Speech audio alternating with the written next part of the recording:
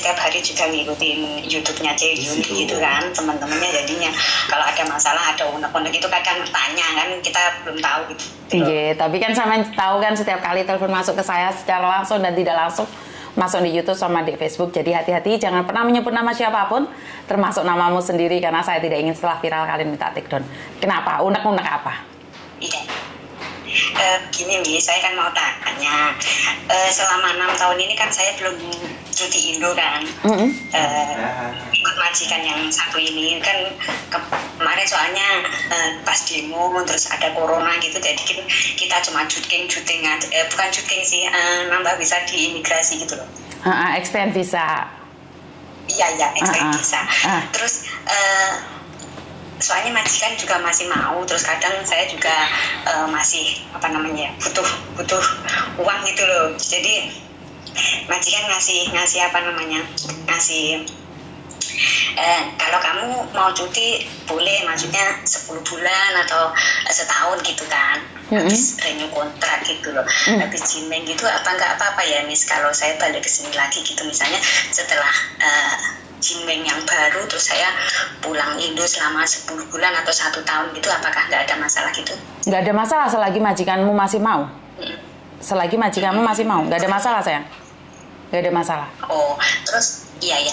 Terus saya uh, mau nanya nih, soalnya ada ada rencana atau ada niat ya kalau aku pulang cuti Indo selama 10 bulan atau satu tahun itu, misalnya saya uh, mau niat umroh gitu loh, apa uh, nanti pasporku gitu boleh ya buat umroh itu, sedangkan kan ada visa saya uh, masih kerja di Hongkong gitu. Boleh toh, boleh nggak ada masalah. Oh, oh gitu gitu ya. Boleh. Soalnya saya unek-unek jadi aku sebelum telepon KJRI gitu aku ah ada ada niat untuk uh, tanya Miss Juni dulu gitu loh. Boleh, tapi kan kalau ke Arab Saudi harus ditambahin nama bapaknya itu. Jadi ntar dek, dek oh. paspormu itu akan ada sedikit masalah ya. Saya kurang tahu apakah itu akan bermasalah besar atau tidak. Saya yang saya tahu kalau ya. ke Arab Saudi itu harus ditambahin nama bapak. Iya iya, ya maksudnya saya saya uh, unek-uneknya di situ. Nanti kalau saya uh, umroh dari Indonesia nanti harusnya ada tambahan nama atau sedangkan di di di Hong Kong sini saya kan harusnya sama KTP sama paspor yang dulu gitu loh. Maksudnya Betul. saya jadi berpikir dulu sebelum saya jimin yang baru ini gitu loh. Soalnya saya ada niatan uh, kalau cuti Indo kalau dibolehin sama majikan ada satu tahun atau sepuluh bulan gitu saya rencana umroh gitu sama suami gitu loh, Miss. Jadi saya pikir-pikir dulu nah nanti uh, masalahnya di paspor itu gitu loh kalau masalah uh, visa saya sudah jelas kalau misalnya nggak ada masalah soalnya uh, ada visa baru selama dua tahun kan jadi hmm. saya cuti Indo 10 bulan atau satu tahun itu nggak ada masalah kalau balik sini lagi gitu loh betul Betul, tapi kalau masalah umroh, karena kan kalau yang saya tahu umroh itu harus ada nama nama iya. tambahan bapaknya dan iya. itu di halaman kelima kalau tidak ketiga Nah itu yang akan jadi masalah ntar kalau kalian masuk lagi ke Hong Kong. Ini yang saya kurang tahu ya. Karena Meme, Meme itu kemarin juga umroh ada nama bapaknya di belakang. Jadi agak ribet kemarin karena namanya Meme yang di paspor dan di belakang itu beda. Dan saya kurang tahu ntar bagaimana. Karena Meme uh, tahun depan kalau jadi kuliah di sini otomatis kan namanya sama di paspornya ada nama bapaknya ada dia. Iya. Tapi kan meme meme masalahnya kan bukan bekerja, meme kan main ke sini. Tapi itu ada sedikit ah, iya, iya. sedikit keribetan karena nama paspor depan dan dalam itu beda. Iya iya ya mengerti. Terus terus posisi saya kan KTP-nya sama paspor kan sama yang sekarang nggak sama yang nanti mungkin di Indonesia-nya waktu saya umroh itu ditambahin atau gimana kan nanti kalau masuk lagi saya ke Hongkong nanti kan nggak sama gitu loh jadi saya unek-unek dulu sebelum saya telepon KJRI gitu saya kok ada unek-unek telepon Miss Yuni dulu gitu loh. Gitu so, soalnya saya pribadi berdasarkan pengalamannya Meme itu agak sedikit ribet saat dia masuk ke sini karena ada tambahan nama bapak. Iya. -hmm. memang, memang, mm -hmm. ya, ya, mengerti, mengerti. Jadi, uh, maksudnya begitu. Jadi nanti ada undang-undang sebelum saya telepon KJRI uh, tanya soal paspor ini mungkin gimana gimana gitu. Saya ah ada undang-undang uh, dua hal ini. Yang satu yang tentang visa saya nanti kalau saya cuti selama satu tahun atau 10 bulan itu kalau masuk ke sini lagi kan nggak dapat. Pak masalahnya saya kan mau niat umroh itu loh mis nanti kalau uh, paspor saya gimana gitu loh maksudnya. Nanti ditambah lagi masuk sini lagi ada ribet lagi atau ada gimana nanti kan susah gitu loh maksud saya jadi saya ini agak uh, apa namanya uh, sedikit uh, udah udah udah apa namanya kebuka gitu loh. Jadi aku harus pikir pikir uh, lebih lebih dalam lagi gitu loh soalnya mau kalau ada niat begini aja kan Miss? Betul. Jadi sebenarnya saya saya kurang tahu ya apakah bermasalah apa tidak. Cuma sedikit ribet lebih baik untuk antisipasi bahwa akte kelahiran bahwa kakak kan di situ kan ada nama aslimu kayak namanya Yuni. Iya, kalau Yuni kan ditambahi iya, iya uh, nama bapakku Eko, David tambah Yuni Eko kan, ya, bener nggak? Ya, ya. Tapi kan nama asliku kan cuma Yuni, tapi kan di akte, di kakak kan namaku Yuni, tapi ditambahi Pak Eko gitu loh. Jadi lebih baik dibawa loh, iya. semuanya dibawa loh. Oh. Kalau memang iya, iya, iya kalau takut lah, kalau takut bermasalah. Gitu antisipasi betul iya, betul iya, betul betul. Betul iya iya. Soalnya soalnya kan orang Hongkong nggak tahu. Soalnya kita tahunya yang di KTP sini sama penting sini sama paspor kan sama gitu loh. Betul. nanti kalau ke sini lagi nanti kok nggak sama paspor yang baru pulang cuti Indo ini gitu loh betul Jadi saya, betul. saya sebelum jimen ke baru ini kan majikan saya kan ngasih ya udahlah kamu udah soalnya enam tahun nggak nggak pulang. Uh, kamu bolehlah uh, cuti selama 10 bulan atau satu tahun gitu. Nanti balik lagi sini gitu gitu loh. Terus ada niatan kan uh, panjang cuti itu saya gunain uh, kalau uh, apa namanya uh, misalnya nggak nggak ribet ini tuh saya kan mau umroh sama suami gitu loh. Soalnya kalau ada mahram gitu kan lebih lebih afdol gitu loh. Mm -hmm, soalnya mm -hmm. gitu loh niat saya ya, oh, uh. gitu loh nih. Jadi uh, sebelum saya telepon KJRI nanya-nanya gitu kok ada ah uh, telepon Miss Juni dulu lah gitu loh. Soalnya kan saya setiap hari juga dengerin YouTube-nya Miss Juni gitu loh. Jadi tapi tapi menurut pendapat bisa telepon Miss Juni. menurut pendapat saya dalam menanyakan KJRI lebih baik. Kan saya bukan staf KJRI mungkin omongan saya lah salah bener gak mungkin KJRI yang lebih bener? Ya makanya sebelum saya telepon ke sana aku juga minta uh, apa namanya unek-unek saya ini sudah sudah sedikit kebuka gitu saya tanya jadi kan soalnya Miss Yuni juga udah lama kan kerja di agent mm -hmm. CCCC ya uh, curhatan-curhatan CCCC ini kan juga udah banyak yang apa namanya kebuka gitu loh yeah. kita gitu loh Miss yeah. saya juga uh, ada ada ada niatan untuk telepon Miss Yuni gitu loh Miss jadi saya setiap hari kan juga uh, sambil kerja sambil dengerin ah YouTube YouTube gitu loh. Soalnya dia juga uh, apa namanya bisa bisa terobati gitu loh. Menurut uh, pendapatnya sampean bagus nggak? ya. curhatan itu menurut jenengan bagus atau pembuatan ya bagus ya. Banyak banyak banyak sekali apa namanya uh, banyak sekali membantu kita dan banyak sekali yang misalnya yang belum mengerti ya belum mengerti maksudnya yang kondisi di Hong Kong ini gimana kan gitu kan bisa bisa bisa bisa buat pelajaran buat kita semua yang di Indonesia maupun yang di sini soalnya yang di Indonesia itu kayaknya yang belum ke sini itu ya Miss ya mm-hmm. ada tetangga saya atau teman saya itu kelihatannya ya Allah kok yang di Hong Kong ini dal-dal bisa beli ini beli itu sedangkan mereka kan tidak tahu kenyataannya di sini Miss oh, betul, betul. di sini itu apa maksudnya kerjanya gimana gitu kan mereka belum tahu gitu loh Miss betul, Jadi, betul, ini betul. semua bisa bisa buat pelajaran bagi kita dan sangat baik sekali gitu loh Miss oh, oke okay. berarti uh -uh.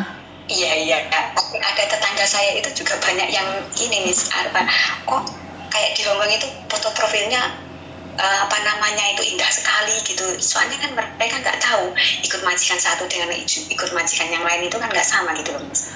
Oke, jadi menurut menurut pendapat Samen banyak hal yang tidak diketahui oleh umum. Ya dengan adanya curhatan ini semua menjadi paham bahwa Hongkong tidak seindah profil begitu menurut jenengan. Nah, enggak, enggak, enggak, soalnya begini, saya sama keponakan saya itu di sini juga beda e, beda jauh ya majikan saya dengan majikan e, keponakan saya. Sedangkan mereka kan tidak tahu, e, soalnya yang kemarin itu apa namanya keponakannya satu itu majikannya baik, terus yang satu ini kok ya namanya orang orang Hongkong kan nggak nggak nggak semuanya sama gitu. Yeah, yeah. Mm. Mereka itu mengertinya mengertinya kok yang satu ini dagel-dagel bisa beli ini beli itu yang satu ya kak maksudnya ya apa namanya kadang ada yang ya standar gitu loh soalnya majikan satu dengan majikan yang lain kan nggak sama gitu loh yes. ada pesan nggak buat para para netizen yang ada di Indonesia ya buat uh, yang sering melihat kontennya Miss Yuni apa namanya ya itu semua curhatan kita yang ada di Hong Kong yang di sini kerja gitu ya bukannya kelihatannya foto profilnya indah gitu ya semuanya ada di kontennya Miss Yuni yang baik maupun yang buruknya yang apa namanya keluh kisah kita gitu semuanya ada di konten Miss Yuni. Jadi konten Miss Yuni ini ya ya bagus sekali lah buat kita yang uh, mau mau kerja di Hong Kong maupun yang belum kerja di Hong Kong itu bisa buat pelajaran. Soalnya majikan di Hong Kong itu tidak sama. Oh, ada okay. yang baik ada yang kurang baik gitu loh Mi. Jadi okay. ini semua uh, yang mau kerja di Hong Kong ini ya bisa lah lihat-lihat YouTube-nya Miss Juni jadi jadi kelihatan majikan di Hong Kong itu gimana gitu, gitu loh. Maksudnya ya rezeki. Kalau ada majikan yang baik itu ya rezeki kita. Kalau ada majikan yang kurang baik ya kita syukuri aja. Mungkin ya belum rezeki kita gitu aja mis oh, oke okay, siap. Matur nembah nuwun atas sharingannya okay, dan curhatannya. Okay, okay, semoga okay, niat baik itu jenengan niat baik jenengan datang ke rumah Tuhan okay. dikabulkan okay. dan okay, amin ya semoga diberikan kesehatan keluarganya dan menjadi berkat buat keluarganya. matur nembah nuwun terima kasih. Okay, okay, matur suwun Juni Assalamualaikum. Selamat siang. Waalaikumsalam. Selamat siang. Oke. Okay. Uh, terima kasih sekali buat mbak-mbaknya yang selalu mendukung konten saya yang selama ini memberikan support pada saya dan terima kasih juga yang memberikan motivasi-motivasi balik ke saya. Terima kasih juga atas doa-doa kalian karena saya percaya dan yakin doa yang baik akan kembali pada yang punya. Tetap semangat, kayau. Uh, saya di sini hanya bisa memberikan dukungan dan memberikan kekuatan lahir dan batin. Jadi lahir batin Miss Yunia, moso iyo. Ya, lahirnya banyak makanan di atas sana itu atas sumbangan teman-teman yang lainnya dan batinnya saya cuma bisa memberikan uh, kekuatan spiritual. Wih, kekuatan spiritual seperti apa, Miss? Ya, saya cuma bisa memberikan uh, dukungan moral aja buat kalian yang ada di Hong Kong yang saat ini sedang terpuruk, yang saat ini sedang uh, goncang hatinya Memang saya tahu Anda terluka, saya tahu Anda kecewa, saya tahu Anda merana. Tapi apa yang bisa saya lakukan kecuali memberikan kekuatan, doa dan kalian harus tetap semangat pada diri kalian sendiri karena kekuatan yang saya berikan itu tidak akan ada artinya tanpa niat dan pikiran kalian untuk tetap semangat. Ingat tidak ada siapa pun yang bisa menjatuhkan kalian tanpa seizin kalian. Tidak ada yang bisa menumbangkan kalian tanpa seizin kalian. Dan tidak ada seorang pun yang bisa menghina kalian tanpa seizin kalian. Tanpa seizin kalian artinya adalah tidak ada yang bisa menyentuh kalian. Hatimu ini tidak akan tersentuh oleh siapa pun dan apa pun. Kalau kamu tidak mengizinkan mereka hinggap masuk ke hatimu. Jadi Katakan pada mereka, maaf saya tidak menerima Anda, maaf saya tidak mengizinkan Anda menghina saya, maaf Anda tidak saya izinkan untuk menyakiti saya. Jadi Anda adalah orang di luar lingkup saya, maka biarkan energi-energi positif yang masuk ke saya. Biarkan orang-orang yang positif yang masuk di hati saya. Dan jangan biarkan orang-orang toksik merambah ke hati kita, merusak pikiran kita. Karena orang-orang toksik adalah apa yang kita lihat di media-media sosial saat ini. Jadi kalau kalian lihat pembunuhan, emosi, bertengkar, cat cat cat cat, cat perang, kecuali perangnya guyonan ya itu itu sih nggak apa-apa. Tapi kalau itu adalah perang bacok-bacokan dan uh, pakai tombak-tombak perang menggunakan sesuatu yang yang yang mempunyai energi negatif sebaiknya hindari tontonan-tontonan tersebut. Jadi buat mbak-mbaknya yang di luar sana saya bisa memberikan dukungan ini sebatas kemampuan saya di luar.